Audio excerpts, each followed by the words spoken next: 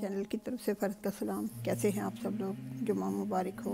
बड़ों को सलाम, छोटों को प्यार।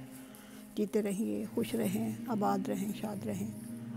आज जब हम कोई भी दुआ मांगते हैं, अल्लाह ताला से या ज़िक्र करते हैं तो हमारी जो पढ़ने का है, उसमें बड़ी ही नीयत और बड़ी ही लगन होनी चाहिए। यानी उसमें हम बिल्कुल ये यकीन रखते हों कि अल्लाह ताला हमारी सुन रहा है। और यकीनन वो उसको कबूल करेगा। आजूर अलैहि वसल्लम को जब हम पढ़ते हैं तो हमें पता चलता है कि आजूर अलैहि वसल्लम सुबह फजर की नमाज़ के बाद अपने सहाब कराम के दरमियान में तशरीफ़ रखते थे और मुख्तलिफ़ गुफ्तु करते थे मुख्तलिफ़ चीज़ों पर फिर उनके साथ उनके ख्वाब सुनना करते थे लोगों के, अगर वो कोई बयान करना चाहे और उसकी ताबीर बताया करते थे। क्योंकि ये वाला टाइम जो है, वो मकबूल होता है इन चीज़ों के लिए।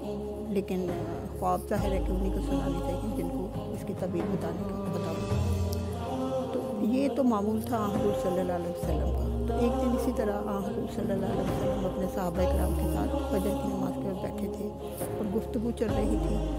तो वैसे ही एक सहाबा से पूछा कि भाई, आज तुम्हारी सुबह जो थी, वो कैसी थी? तो साहब जो, जिनसे पूछा गया, उन्होंने कहा कि आज तो मुझे बिल्कुल सच्चे मोमन जैसी सुबह नसीब हुई। तो ये एक बड़ा ही गैर मामूली सा जवाब था, जिस पे आँसू सल्लल्लाहु अलैहि वसल्लम ने पूछा कि हर चीज़ की एक कैफियत होती है और कुछ ना कुछ सिफ्त होती है, जिसकी वजह से आप पहचानते हैं कि ये वाकई कोई खास बात है। कैसी कैफियत थी जिससे तुम गुजरे और तुम्हें लगा कि तुम एक मोमन की सुबह नसीब हुई है तो उस पर उस सहाबा ने जवाब दिया कि, या रसूलुल्लाह, मुझे महसूस हुआ कि मैं जन्नत देख रहा हूँ।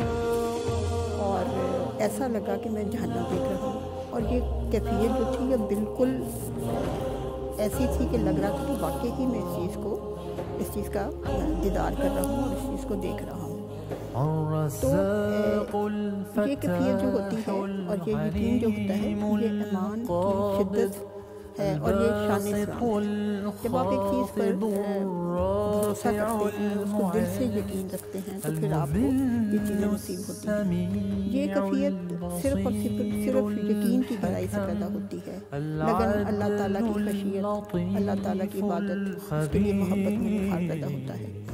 तो जो जो हम अपनी बातों में अपने ज़िक्र उसकार में लगन उसकी गहराई में जाकर सोचना और फिर उसको अपने सच्चे दिल के साथ पढ़ेंगे तो उसमें एक और ही शान पैदा होती है।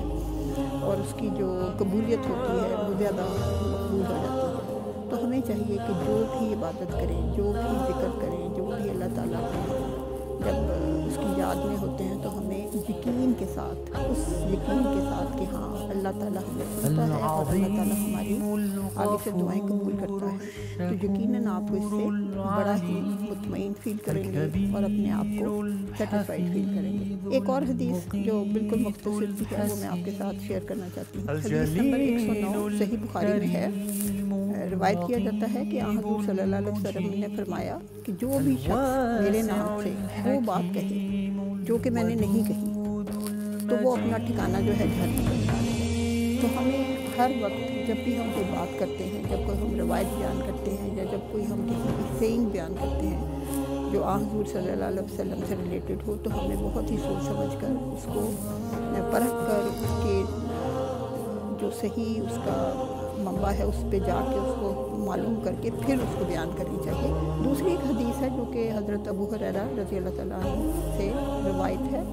कि फिर ने फरमाया कि जो शख्स असूल इलम के लिए कोई रास्ता तय करता है, यानी इलम हासिल करने के लिए वो दूर जाता है तो अल्लाह ताला उसकी वजह से उसके लिए जन्नत का रास्ता आसान कर देता है। यानी तालीम सिर्फ़ आपकी दुनियावी तालीम नहीं है ये दीनी तालीम भी है जिसमें के दीन को जानना और आजूर की सीरत और दूसरी जो मालूम हैं हमारी इस्लाम में उसके बारे में जानना फिर दूसरी भी तालीम के बारे में कि आप जितनी जद्दोजहद करते हैं जितनी दूर उसके लिए करते हैं तो आपके लिए यानी आपकी जो मेहनत है उसके लिए अल्लाह ताला आपको उसका अजर है। और ये नंबर है थ्री सिक्स फोर थ्री सुनन अबी दाऊद में। तो मैंने कहा ये दोनों ही हदीसें बड़ी ही गौरतलब हैं और इसको जानना चाहिए और इस पर अमल करना चाहिए। तो चले आए इन हम भी कोशिश करेंगे कि हर चीज़ वो की जाए जो कि अल्लाह ताला के हुक्म के मुताबिक हो। और दूसरा चीज़ें दूसरों को हेल्प करना दूसरों के लिए अच्छी ख्वाहिशात का रखना इसको ज़रूर जारी रखें। नेक अमाल करते रहें ताकि हम अपनी आखिरत की तरफ़ जो जो बढ़ रहे हैं वो हमारे लिए आसानियाँ पैदा हों। और हम